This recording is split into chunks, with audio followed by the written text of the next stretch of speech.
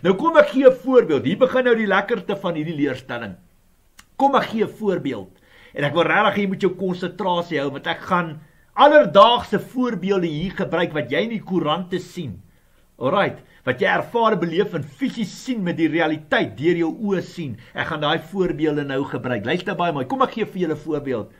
As ons kyk na 'n baie bekende diamantsmous binne Suid-Afrika. Alraight, julle weet van wie ek praat. Ek gaan nie name noem nie. Maar jy kan self 1 + 1 hier bymekaar sit as jy skoen jou pas trek hom aan, soos ek altyd sê. Alraight. So ek praat oor 'n baie bekende diamantsmous en handelaar of eienaar of direkteur of wat jy hom ook al wil noem in Suid-Afrika.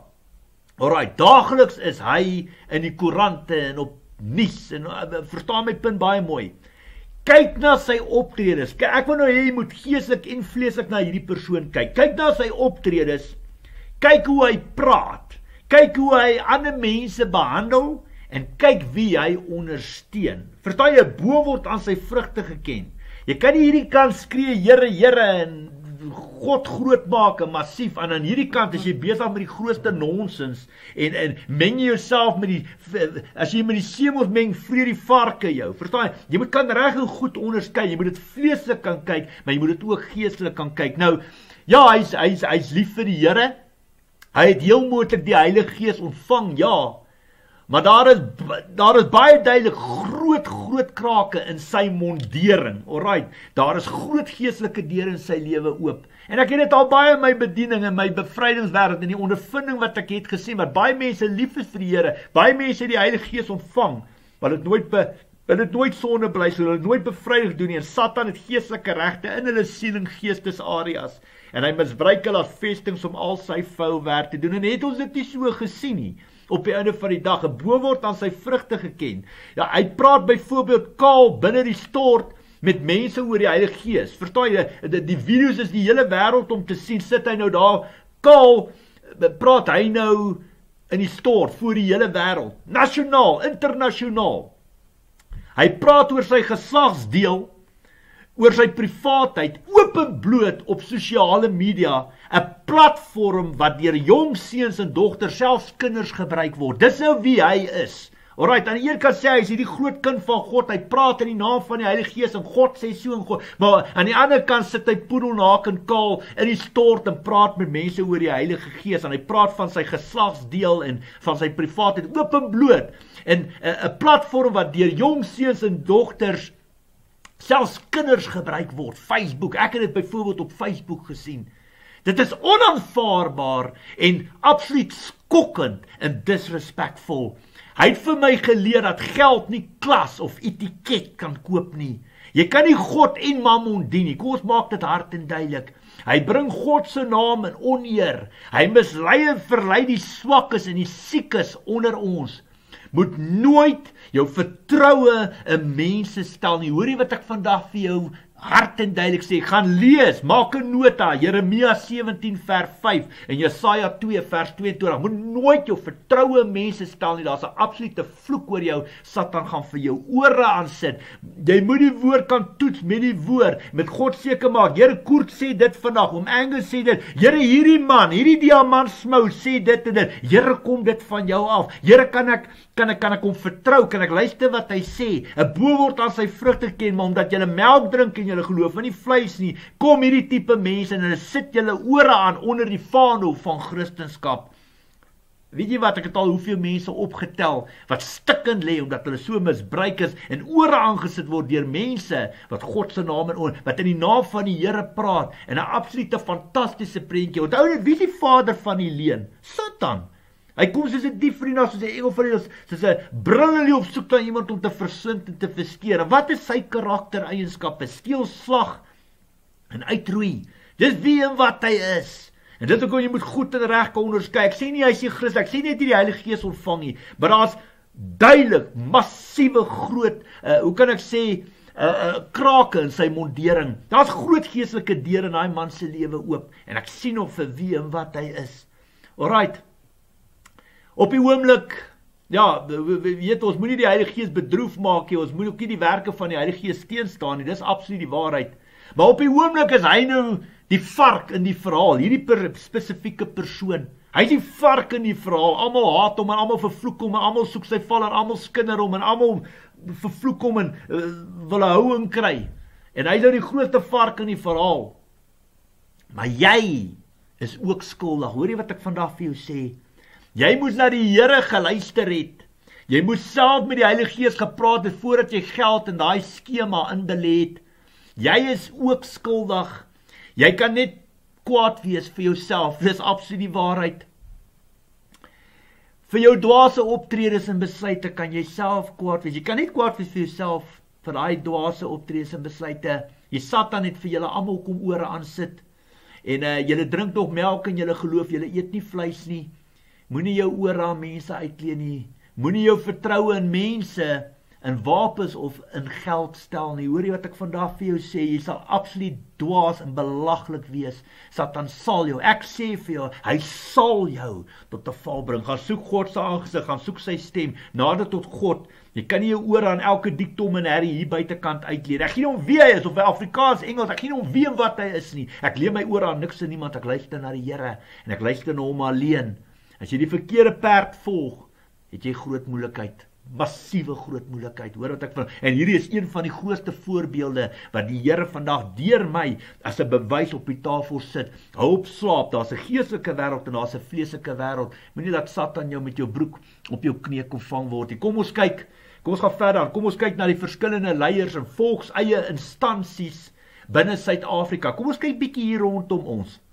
Kom ons kyk na hulle opinies en na hulle planne vir die pad vorentoe. Uit respek noem ek niemand se name nie, maar sit self, sit jouself 1 + 1 bymekaar. As die skoen jou pas, trek hom aan.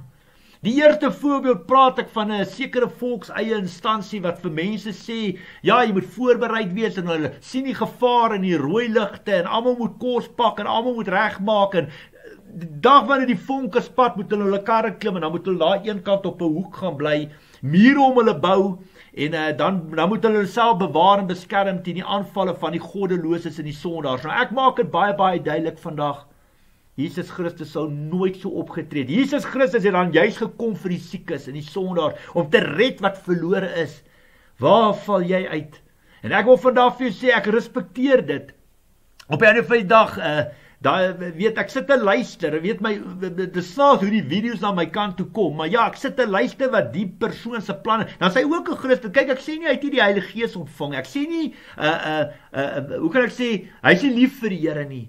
Maar ek sien wat 'n rigting hy stap. Ek sê nie hy is nie lief vir die Here. Hy is heel moontlik baie lief vir die Here en uh en en hy het heel moontlik die Heilige Gees ontvang, maar hy kan nie met God praat nie want die rigting wat hy stap stem ek absoluut nie saam nie. En ek glo nie hy besef die die die hoe massief dit is wat hy voorstel en wat hy uh vir mense wil verduidelik wat hulle moet doen. Ek glo nie hy besef wat die impak is van sy dade en van sy besluite nie.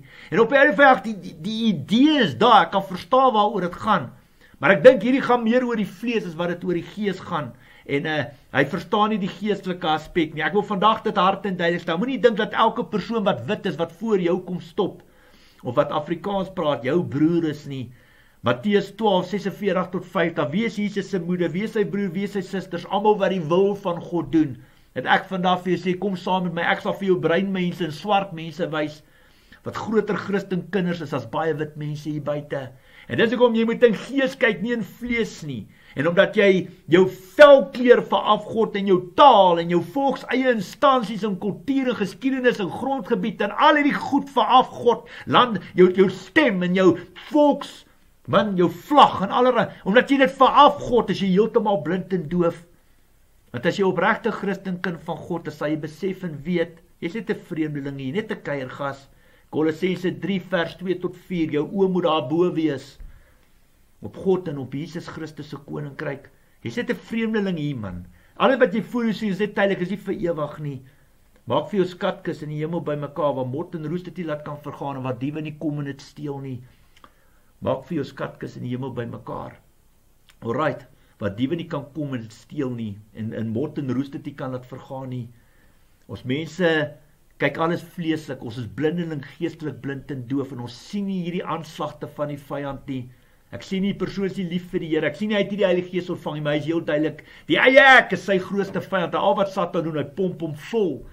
hout en petrol om die saak want dit wat Satan wil hê hy wil julle almal daar 'n hoop hê dat julle kan uithaal want weet julle wat julle stel julle geloof en vertroue in julle eie ek en julle eie mens wees julle luister na mense julle luister na God want ek sê vandag vir jou so waar is waar God in die hemel is hierdie besluit kom nie van die Here af nie ek luister verder na die video wat die persoon sê ons moet doen God het jou 'n verstand gegee hy veg deur ons klink dit bekend hæ huh? Wat jy reg in eie hande, nou moet jy jou wapens optel. God gaan nou deur jou veg en nou skiet jy dood in bloedspat vir volk en vaderland. Kom ek vertel jou iets. Dis 'n leuen uit die put van die hel uit. Ek wil dit hard en duidelik stel. Die woord sê, "My skape sal die herder se stem kan hoor." Jy moet met God kan praat. Jy moet met hom in gees kan kan gesels en gemeenskap met hom hê. Lees ook 1 Samuel 12 vers 14 en 15. Doen jouself moeite gaan lees daar. Jy moet gelei word deur die stem van die Heilige Gees. En as jy omdraai vandag en jy sê vir my die Heilige Gees het sê dit is wat ek moet doen, dan moet jy besef en weet as jy die Christendom goed en reg verstaan, sal jy verstaan dat die een liggaam van Christus 1 Korintiërs 12 vers 12 tot 31 'n geestelike liggaam in die geestesriem is. En om 'n Christen te wees, sê 'n one man show nie. Die hand kan nie die voet verwerp en die oor ook nie die neus nie. En as een dit lei, lei almal saam. So baie belangrik, jy moet die woord kan toets met die woord. Verstaan jy? Ja, as die Here dit vir jou sê, dan kom jy na my toe dan toets ons dit met die woord. En ek sê vandag vir jou ek stem nie saam met jou nie en ek bots totaal en al daarmee. En dit is een van twee dinge of ek of jy luister nie na die Here nie of ek en jy dien nie na die die die dien nie dieselfde God nie. En dis ook oor baie pas op. Baie mense kan na jou luister en ek sal jou respekteer. Ek is nie om om geen persoon te verneder en sleg te maak nie. Maar elke persoon wat jou volg, se verantwoordelikheid is om te gaan toets of dit wat jy daar sê wat moet gedoen word of dit van die Here afkom ja of nee elke liewe persoon. En as jy op pad daarna toe is en jou keel word afsny of jy kom 'n groot kar ongeluk of jy gaan dood in oorlog, moet jy nie vir God kwaad wees nie. Jy kan net vir jouself kwaad wees. Jy kan nie eers kwaad wees vir die persoon nie, want hy doen dit wat in sy hart wat hy goed vind, omdat hy belangstel omdat hy omgee. Uh, dit dit is al waaroor dit gaan. Maar die stem van God speel 'n absolute belangrike rol. Ons het dit gesien met hierdie diamant uh magnaat of hierdie ryk ou wat ek nou net verduidelik het hoeveel mense tyd kom ore aan sit. En so kan Satan deur hierdie tipe mense ook kom. Ek sê nie hulle is nie lief vir Here nie. Hulle kan ook lief wees vir hulle. Hulle glo in die God van Abraham, Isak en Jakob en al daai pragtige dinge. Maar hulle luister na hulle self, na ander mense. Hulle luister na God. Hulle luister na Satan. En hulle toets die woord met die woord. Jy sien die riglyne van die Bybel is daar. Jy kan nie net soos 'n soos 'n bus sonder brieke hardloop nie wat jou jou jou jou jou jou hoe kan ek sê jou optredes, jou aksies het eindresultate vir elke aksie en vlees het daar 'n reaksie op jou siel en gees en ek sê vandag vir jou ek wil nie ander mense se bloed op my hande hê nie. En dis hoekom elkeen groot genoeg is groot en volwasse om sy eie besluite te gaan maak En ja, as daai besluit van jou dan werklik van die Heilige Gees afkom, sal daar vrug en seën wees en almal sal dit van die Here af ontvang. Maar wie wat die Heilige Gees praat nie uit twee monde uit nie. En dit wat ek op vandag vir sê, ek wil sê waak en bid. Waak en bid want die Gees is sterk, maar die vlees is swak. Onthou dit altyd. Moenie jou oor aan mense, jy moenie jou vertroue in wapens en in mense en in jouself stel nie. Daar's net een wat kan red, sy naam is Jesus Christus en hy's 'n lewendige, almagtige, allerheilige God. Hy's nie 'n baksteen nie. Hy's tussen ons. Gaan soek allereers die koninkryk van God. Moenie jou ore uitleen nie. Pas op. Daar's 'n ander voorbeeld wat ek vir julle wil gee. En dis 'n weer 'n ander uh, volks eie instansie waar die waar die baas of die eienaar of die direkteur of wie hy ook al is vir mense oproep om hulle wapens reg te maak, opleiding te kry. En hulle gaan vir jou nou al die strukture leer van hoe om saam met die polisie en die weermag beheer te vat. En kom ek vertel jou vandag iets. Ons is nie God nie. Romeine 13 vers 1 2 en vers 7 leer die woord vir ons ons moet ons regerings kan respekteer. Ons mag nie die gesag bo ons met minagting behandel nie. En al is dit 'n half goeie idee wat jy nou beheer vat oor jou eie woongebied en oor jou eie uh, grondgebied en plaas en allerlei goedjies en jou eie volks eie instansies en al die tipe goed. Moet ons besef en weet, dis nie 1994 wat ander mense in 'n hok bly in 'n plakkerskamp en ander mense, die mooi ryk mense en die goeie mense bly in huise nie. Weet jy wat? Jy sal sien jy kry goeies en slegtes onder wit, bruin en swart in in in in in in in woongebiede. En nie almal van hulle is sleg nie. Baie van hulle het goeie harte, baie van hulle is lief vir die Here, baie van hulle is Christene. So wie gaan kyk en wie gaan vat? Wie gaan beheer vat en wie gaan los?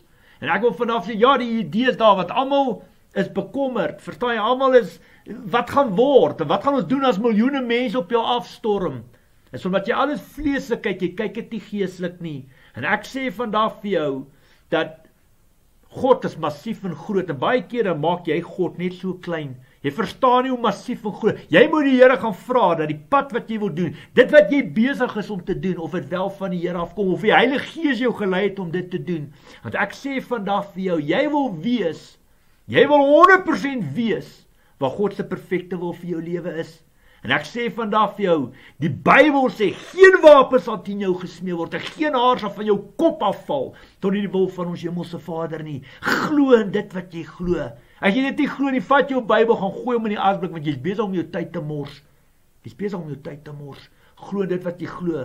En ek sê nie vandag vir julle luister na my nie. Ek is nie hier om niemand sleg te maak nie. Ek probeer aan almal verduidelik hoe slim Satan is. Hoe kan hy mense mislei? Ek sê nie hierdie mense is nie lief vir die Here nie. Ek sê nie hulle het die Heilige Gees ontvang nie, maar hulle is miskien jou moet ek geestelik blind en doof. Daar's 'n muur tussen hulle en God. Hulle kan nie met God se stem praat nie. En Satan mislei en verlei en hulle eie ek vat oor wat hulle eie planne begin maak.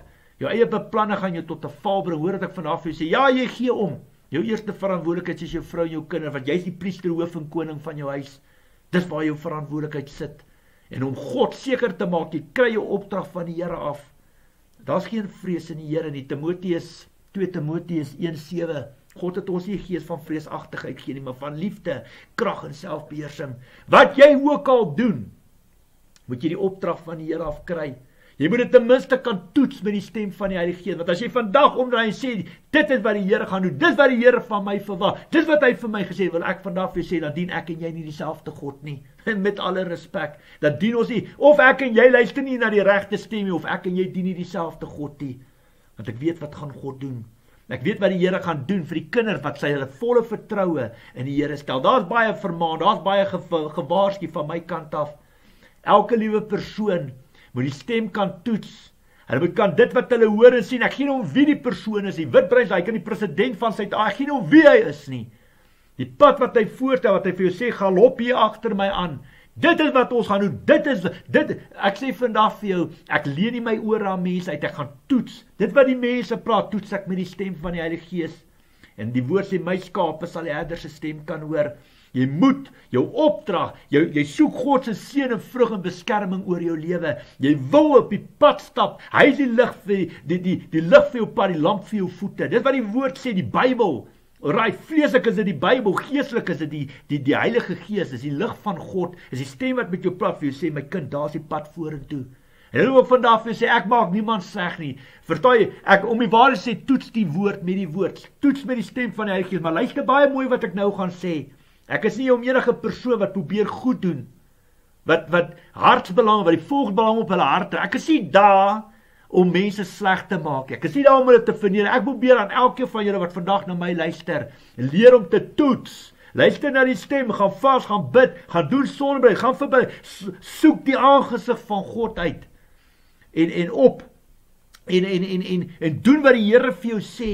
Aardig gaan jy soos 'n soos 'n hanslam hier rond hardloop. Jy gaan nie weet wat te kan doen nie. Ek kan vir jou ding sê, die dag wanneer die moeilikheid kom, wat dinge ontplof hierso, help jy gaan noord, oos, suid, wes, hardloop, weet jy wat te kan doen nie, want daai dag is jy ge, gedoem om tot 'n val te kom. Jy's soos 'n vrou wat in kraam is sonder krag. Jy moet klaar weet wat God van jou verwag. En dit hoekom jy wat, as ons kyk na Pieter Retief, as ons kyk na Hendrik Potgieter, as ons kyk na Andrius Pretorius, Daar was verskille tussen hulle. 100% reg. Maar hulle het mekaar gerespekteer. Alraai, luister baie mooi. Hulle het almal die prys ontvang en betaal vir hulle optredes en besluite. Goed en sleg, dood of lewe, wonderwerk of ramp. Hulle het dit ontvang. Hulle het hulle het hulle hulle het hulle het die prys ontvang en betaal vir hulle optredes en besluite. Ek sê weer, goed en sleg, dood of lewe, wonderwerk of ramp. Ons moet leer uit die geskiedenis uit. Almal maak hulle eie keuses en besluite. Almal is verantwoordelik vir hulle eie dade en optredes. Hoor jy wat ek vandag vir jou sê? So jy wat ek eintlik kort en kragtig vir jou sê, toets die woord met die woord. Dit wat daai leier sê, dit wat daai ou sê, dat wat daai ou wat almal sê, gaan toets dit met die Here. Dit gaan nie help as jy môre doodgeskiet of jou vrou en jou kinders kom iets oor of jy jy daar opgeëindig nou is jou hele huis plat gevee en daar sit jy sonder kos, sonder bad, nou sit jy daar in die middel van die veld. As jy kwaad vir daai mense nie, jy gaan net kwaad wees vir jouself. Hoor wat ek vandag vir jou sê. Kry jou kry jou opdrag, kry jou antwoord van die Heilige Gees af. Ken hom in al jou weë en hy sal die paaie vir jou gelyk maak. Kom ons gaan verder aan. Kom ons kyk dan nog 'n voorbeeld wat die Here op my hart kom lê het. Die 16-jarige seun van Kreersdorp wat 'n jong dogter aangerand het. Ons het dit gesien. Dis oral op platforms soos Facebook en op die nuus en koerante en hier almal is daar om hierdie arme ouetjie gelyk te vee met die aardbol. En hy is die grootste vark in die verhaal en ek dink elke pa wat 'n dogter het kan sê seker dankie Here, hierdie ou is nie my kind. Hy slaan my kind. Ek sal hom gelyk voer. Ek sal hom gelyk slat met die grond. Nou kom ek vertel vandag vir jou iets. Wat hierdie seun gedoen het is absoluut skokkend. Ek het ook na daai video gekyk. Jy kan dit in jou hele lewe nooit goed praat nie. Maar daar is bietjie meer vet en vleis aan die been as wat die gewone mens op straat besef of gewoond is. Hoor julle wat ek vandag sê? Die ouers, die ma en pa van daai kind, die ouers, die regering, die kerk, die skool, die gemeenskap moet verantwoordelikheid vat vir die jong man se optredes. Hoor julle wat ek vandag sê?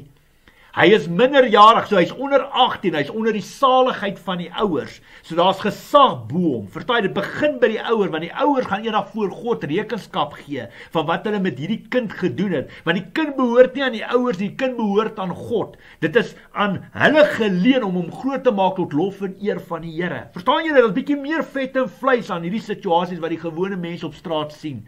Hy's minderjarig, hy's 16 jaar oud. Hy is deur die volwasse leierskap van ons land geval, verwaarloos en verwerp absoluut. Dit is die advertensiebord, die eindresultaat van die kinders en die skole van Suid-Afrika. Die kinders betaal die prys omdat die politieke en geestelike wil van ons regering, ons ouers, ons kerke, ons skole nie daar is om hulle volgens die wil van ons hemelse Vader, die skepper van hemel en aarde op te voed nie. Alraai, dit begin by ons regering, dit begin by die ouers, dit begin by die kerk, by die skole. Ons praat alles goed en môre is nog 'n dag en ons ondersteun 'n demokratiese stelsel waar hulle die hemelse God gelykstel met aardse gode en ons verwag daar sal vrug en seën wees. Jy sal vir God in jou hele lewe nooit ooit so dien nie. Kyk hierdie jong man in vlees en as jy klaar is, dan kyk jy hom in gees. Daai kind is minderjarig, hy's 16 jaar oud, hy's onder die saligheid van die ouers. So waar moet jy gaan krap? Begin by die huis. Kyk na die regering, kyk na wat 'n kerk hy toe gaan, gaan skole toe. Moenie die kind alleen slat met 'n besemstok nie, want jy's dwaas. Verstaan jy op die einde van die dag? Almal is skuldig, nie net die seun of die dogter van die betrokke saak nie. Daar's nie 'n wenner in hierdie saak nie, almal is verloders. Kom ek vertel vir julle hoe God my geleer het as dit by die minderjarige kinders kom. Hoe werk die geesteswêreld in die verband? Die Here wil hê ek moet dit vir julle verduidelik. 'n Kind val onder die saligheid van die ouers tot hy 18 jaar oud is. Baie baie belangrik. Alraai. So die ouer vat verantwoordelikheid vir daai kind en weet jy wat uit elke ouer uit daar kan geestelike deur en regte in hierdie kind se lewe oop wees. Ons weet hoe gaan dit in daai huis. Ons weet hoe praat pa met ma. Miskien slaat pa die die ma, jy weet, miskien is hulle geskei. Miskien het daai kind met die grootste verwerping. Miskien het hy nie eens ouers nie. Weet jy wat? Ons moet die woord sê ons moet ons moet nie partydig wees nie. Jakobus 2:9. Jy moet 'n saak van alle kante af hoor. Die dogter se saak, haar ouers, eh, die seun se saak, sy ouers, die skool, uh uh die kerk. Verstaan jy? En dan God se opinie. Jy moet hoor wat sê die Here. Maar daar kan geestelike deure in hierdie gesin en hierdie familie se lewens oop wees. Kyk dit vleeslik en geestelik. Daar kan bloedlyn vloeke wees van ma en pa se kant af wat hulle in sondes ingebore is. Dit het 'n direkte impak op hierdie kind. Dis hoekom dis hoe die Here my leer om met kinders te kan werk. Daar kan daar kan geestelike deure in hierdie kind se lewe oop wees. Hoe weet julle hy's miskien opgeoffer aan vrymesselary of hy's miskien betas of gemolesteer of hy's verwerp en weg. Hy's jou moontlik miskien 'n uh, 'n uh, buiteegtelike kind wat daar vloek oor hom hang. Weet julle wat? Weet jy hoe hoe stikkend is ons kinders hier buite? Weet julle hoeveel druk het ons kinders? Weet julle hoe val ons huwelike, ons huisgesinne, ons kinders uitmekaar uit? Omdat Satan partytjie en omdat ons alles vleeslik kyk en nie geeslik nie, geniet Satan homself. Nou wie wat as sulke gevalle soos wat hierdie jong man fout gemaak het, oor ons pad kom, dan slat ons almal met stokke. Dit gaan nie net oor slaal met stokke, dit gaan nie vervloekings, lewe en dood is in die mag van die tong. Lewe en dood is in die mag van die tong. Matteus 12 36 36 en 37. Vir elke lesinnige woord gaan jy met rekenskap gee op die dag van oor dit hier jou eie woorde sal jy vrygespreek of veroordeel word. Ons mense verstaan nie wat ons doen nie. Ons kyk die dinge vleeslik en ons kyk dit geeslik en of hy witbrein of swart is, ons vat reg in eie hande en ons wil God se werk vir hom doen. Ons wil God vertel hoe om sy werk te doen. Ek sê vandag vir jou, ja, die pa van daai dogter, die ouer van daai dogter kan baie ongelukkig wees. Maar soos ek vir julle sê, daar's bietjie meer vet en vleis aan die been as wat die gewone mense op straat sit. En ek het deernis vir daai jong man. Ek wil eintlik wil ek vir die Here bid. Vra Here vergewe hom wat hy weet nie wat hy doen nie. Vergewe hom wat hy weet nie wat hy doen nie, maar wie wat hy te siel, gees en vlees, net soos jy wat vandag na my luister ook 'n siel, gees en 'n vlees het. En as jy vandag kan klippe gooi, as jy kan opstaan en sê ek het nie foute nie, dan vat jy daai klippe en roer jy daai mannetjie en jy stamp hom met alles wat jy het. Maar ek kan vandag vir jou sê as jy self foute het en weet jy wat op die ingewing van die moment wat iemand voor jou inry 'n swart taxi kan jy jou jou jou jou jou jou jy meer verloor en jy vloek en jy skree en jy maak foute en jy lewe ook in sonde. Jy's nie perfek nie. Sit neer daai rots. Sit neer daai klip en vergewe en bid vir hom. Vader, vergewe hom wat hy weet nie wat hy doen nie. Ons bid dat U die geestelike deure in daai jong man se lewe sal oopmaak om Jesus Christus te leer ken, die pyn en die seer waaraan hy gekoppel is, jou moontlik bloedlyn vloeke waaraan hy gekoppel is, die regte van Satan in sy lewe sal wegneem en dat U vir hom 'n ander uitkoms gee. Ja, vir elke aksie en vlees is daar 'n reaksie op siel en gees. En ek verstaan en ek weet volgens die wetgewing van die land jy mag nie 'n vrou mishandel nie. Jy mag nie 'n kind mishandel, hy self 'n kind en hy mishandel 'n ander kind. Hulle boelie mekaar. Hulle sê mekaar sleg. Nie een van ons weet wat is die 100% die redes hoekom dit gebeur het nie. Nou weet jy wat? Die Here leer ons om onpartydig te wees. En uh mag die Here uitkoms gee dat dit laat laat dit 'n wen-wen situasie vir almal sou wees. Mag hulle mekaar vergewe en mag hulle groei geestelikheid hierdie saak en mag die Here verheer word deur alles. Want ek sê vandag vir jou niemand doen dit wat daai jong man gedoen het as prins nie. Ja, partykeer op die ingewing van die moment, ons ken kinders, ons was self foute gemaak. Ons het ook geslaan en geboelie en gevloek en geskree. Almal net op 'n anderste vlak as die ander ene. Maar hoeveel ouers, hoeveel paas slat hulle maas in die huise? Hoeveel boeties slaan hulle sissies in die huise? Maar daarvan word niks gesê nie. Nee, weet jy wat? Ons moet baie baie pas op. En ons moet eerder bid vir mekaar. Ons moet bid vir mekaar, as wat ons mekaar dag en nag vervloek en ons eie koppe volg en self probeer God speel. Hebreërs 10:30 31 die oordeel straf en vergelding kom die Here toe. Gee dit vir hom, laat hom toe bid, laat geregtigheid skiet.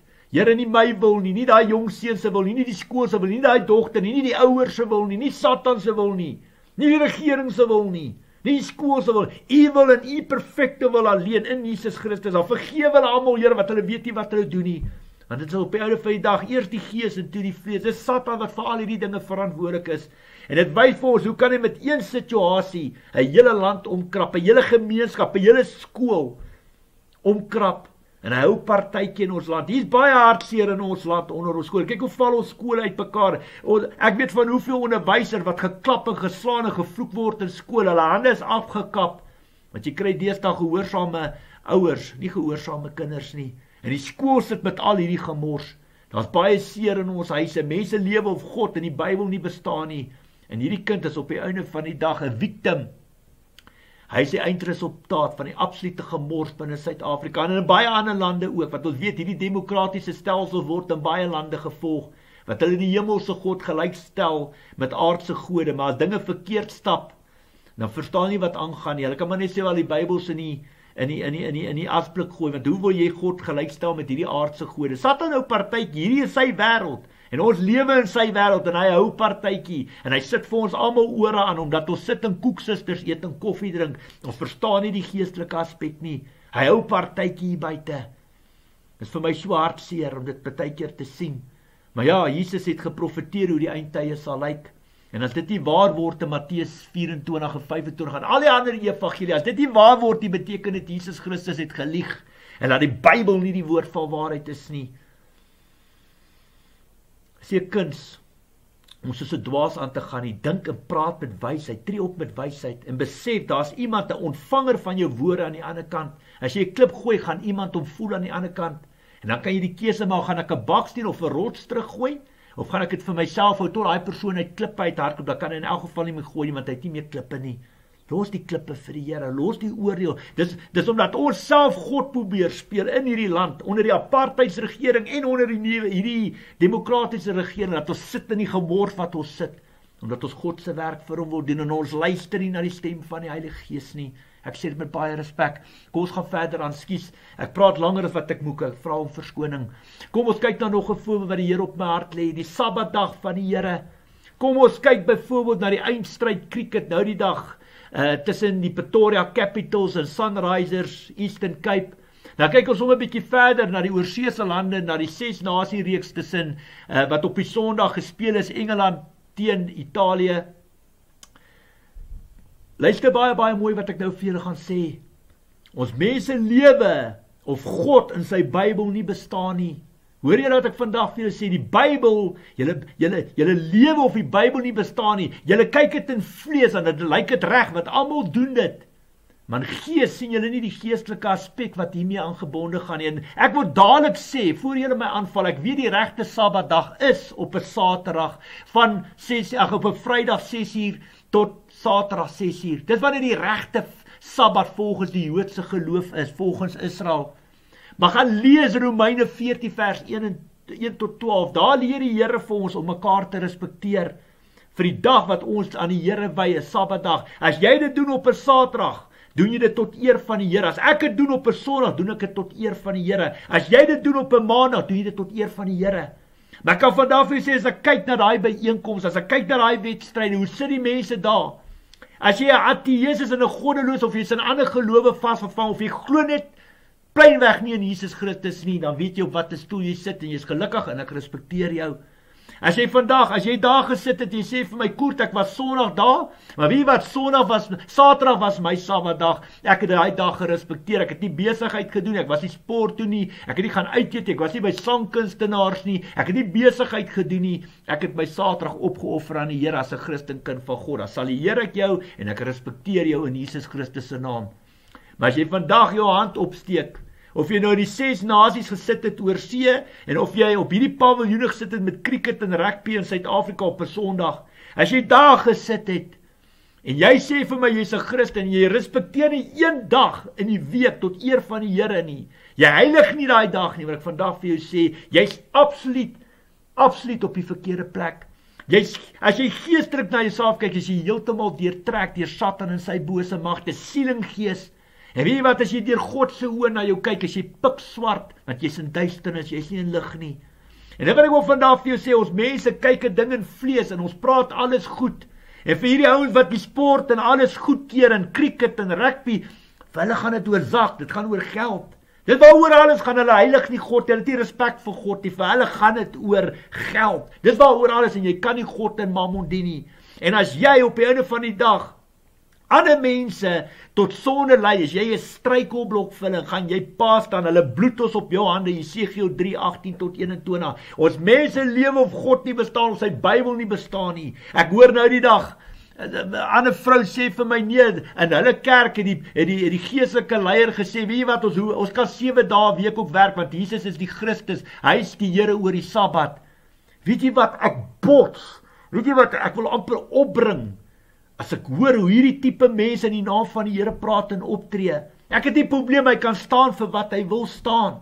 Maar hy moet as hy deel is van die een liggaam van Christus waarin hy glo, dan moet hy kom sy woord toets met die woord. Hy moet dit van God ontvang en ek sê vandag vir jou, dan luister een van ons nie na die stem van die Heilige Gees of ek en hy dien nie dieselfde God nie. En daai tipe mense staan voor in die kerk. En weet jy wat as jy gaan kyk na sy kerk, is dit een jol en party en kuier, is een jol. Die kerk lyk soos diskous. En almal het geen respek daar binne nie. En daar word klere en T-shirts verkoop. Koffie word verkoop. Alles word verkoop. Dis 'n boos. Dit is dit is 'n besigheid. Dit is 'n dit is 'n ag man, dit is dit is 'n absolute besigheid. 'n Rowersnes onder die vaandel van Christendom. Ek stem nie saam dan nie. Weet jy wat daai een persoon is verantwoordelik vir hoeveel mense wat voor hom sit. Sy absolute val vir die koninkryk van God en hy gaan pa staan. Hoor wat ek vandag vir julle sê.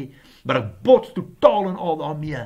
Jy weet wat, is lekker as jy mag en gesag in die hand het. Is lekker as jy 'n klomp mense wat jou volg en elke Sondag is jou kerke vol. En dit is jol en kuier en koffie en party en koeksusters. Wie wat jy maak een killing van 'n lewe met jy salarisse en bonusse en pensioene en vakansies. Dis die lekkerste van Christendom. Maar na jy nou lekker gejol en gekuier het in vlees, draai bietjie om in gees. Daar's gebooie wat sê jy moet jou Sabbatdag heilig hou, die vierde gebod en die 10 gebooie. En as jy vir omdraai sê dit bestaan nie meer dan sê ek vir jou gaan lees Matteus 5 vers 17 tot 20. Romeine 3 vers Romeine 3 vers, vers vers vers 20 en vers 31. Romeine 7 vers 1 vers 7 en vers 12. Gaan kyk in Nehemia 13, wat het Nehemia met mense gedoen wat besigheid gedoen het op God se dag? Jy sy antwoord in die Bybel kry. Ek bots totaal en al in jou leierskap en wie en wat jy is. En ek sal nie verbaas wees dat die Here aan my openbaar dat jy nie eers geroep is nie.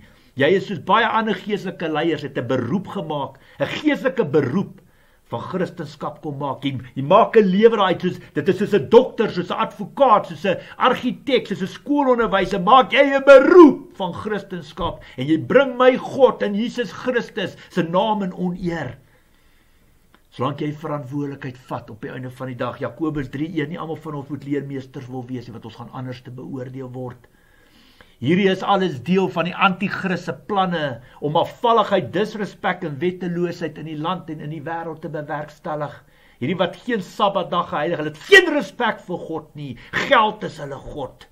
En weet jy wat, jy wat die aap is, wat daar gaan sit en alles ondersteun, hulle is vir jou 'n struikelblok en jy besef nie waarmee jy dobbel nie. Dis hoekom die woord sê die pad na die hemel toe, die poort na die hemel toe is dun en smal en min mense gaan daarin. Maar die poort na die verderf na die hel toe is groot en breed en baie mense gaan daarin. Maar dis goed wat ons mense nie wil hoor nie. Ons moet net die oortjies streel. Want God is 'n lekker God man. Hy's 'n genadige God man. Hy's almal se chommy. Skus, ek word so opgewerk. Kom ek vertel vir julle iets. Alles gaan mos oor. Die probleem lê natuurlik. Ja, ek wil net teruggaan waar ek was. Dit is die eindresultaat van 'n demokratiese stelsel waar die hemelse God met aardse gode gelykgestel word. Niks anders as afgodsdiens nie. Afgode, geen respek vir God nie. Daar staan geskrywe, luister. Wie my eer, sal ek eer, en wie my minag, sal ek minag. Hier's mense wat 9 dae 'n week ook sal werk as hulle geleentheid en 'n kans kry want geld is hulle God. Hulle het geen respek vir God nie. Niks. Maar weet jy wat, die dag wanneer jy op jou doodsbed lê, Daai dag sal jy besef hoe stupid jy was. Glo my, ek werk met baie mense hier buite. Of hulle oud is, jonk is, in hulle middeljare, seuns, dogters, ma's en pa's. Ek het al met baie mense gewerk. Daar besef hulle dat al hierdie wêreldse materiële dinge absoluut niks beteken nie. Niks. Niks, niks, niks. Jy moet elke dag leef of dit jou laaste is. Die probleem lê natuurlik binne ons kerke. Dis waar al hierdie probleme lê binne die kerke. Mense word nie geleer wat sondes is nie. Alles gaan mos oor genade. Alles gaan oor liefde en disippelskap. God is almal se chommy. Hy is 'n lekker God. Hy is 'n genadige God. Hy sal by ons behoeftes en verwagtinge en droomplanne aanpas. Met alle respek. Julle weet nie waarmee julle dobbel nie. Julle is deel van die probleem binne Suid-Afrika en natuurlik binne die die hele wêreld. Vir baie van julle het Christendom in 'n 'n beroep verander. Daar is baie geld, baie sak om te maak in die naam van Jesus Christus. Mag die Here julle almal genadig wees. Vergewe hulle my Vader, want hulle weet nie wat hulle doen nie. Toets wat ek gepraat het met die woord. Toets dit in Jesus Christus. Toets dit met die woord, toets dit met die stem van die Heilige Gees, dit wat ek op die tafel sit. En van daar af maak jy jou eie keuse en besluit en jy loop die pad en gaan sit op die stoel wat jy gemaklik voel met alle respek. Nog 'n voorbeeld. Eh, ek is amper klaar my liewe broer suster, skus ek moet 'n bietjie water drink. Skus tog. Nog 'n voorbeeld. Nou die dag gesels ek met 'n anonieme persoon. So uit die bloute uit in die publiek oor die omstandighede binne ons land. Ons gesels in die algemeen oor die ANC regering en oor swart mense in bestuur van ons land en bestuur van die unies en bestuur van al die verskillende staatssektore in Suid-Afrika. Nou moet julle weet, die man weet niks van my af nie. Hy weet nie wie ek is, wat hy praat te goed. Nou sit ek en luister na die persoon, maar dit is al almal praat net negatief en sleg en almal wil opgee en almal wil moed opgee. Die een dink hy's beter as die ander een en almal wys vingers. Hierdie hierdie hierdie sleg aanseere, hierdie sleg swart mense. Verstaan jy? Nou die man se woorde aan my, hoor hierso. Hierdie goed. hy verwys hulle na goed. Hierdie goed, hierdie mense, hulle kan dans. Hulle kan afbreek vuur maak en verwoes. Hulle kan klippe gooi. Hulle kan kinders maak. Hulle kan steel. Maar om 'n land te regeer, dit kan hulle beslis nie doen nie. Suid-Afrika lyk soos 'n plakkerskamp. Alles val letterlik en figuurlik uitmekaar uit. Alles is bankrot gesteel en in die grond en bestuur. Die buitewêreld lag vir ons. Nou my liewe broer en suster, Die woord sê in Romeine 8 vers 5, die wat vleeslik is, bedink vleeslike dinge en die wat geestelik is, geestelike dinge. En dit is vir my duidelik dat hierdie persoon uh verstaan jy die die persoon is heel duidelik vasgevang in vlees in die realiteit in die wêreld, nie in gees nie. Hy kyk die hy kyk deur wêreldse oë na Suid-Afrika, nie deur God se oë nie. Alraai baie baie belangrik en en hy het sy opinie, sy rigting wat hy stap En hy's natuurlik reg, hy het die regte velkleur, hy's perfek en en ander mense is sleg en hy's goed en ander mense is sleg. Verstaan jy, dis baie maklik om houe uit te deel. Dit is altyd lekker om dit te ontvang nie en jy moet as jy met wysheid praat, jy weet waar al hierdie dinge vandaan kom. Daar's 'n doel en 'n rede vir alles, maar as jy nie met God kan praat en sy stem kan hoor en 'n verhouding met hom het nie, gaan jy heel moontlik ook praat soos hierdie ou gepraat het. So Sy vyand is natuurlik swart en bruin mense. Dit is nou eintlik wie sy ware vyand is. Sy vyand is die ANC regering. Alles wêrelds my liewe broers. Dit is vir my hartseer. Jy weet hy drink nog melk in sy geloof. Hy eet nie vleis nie.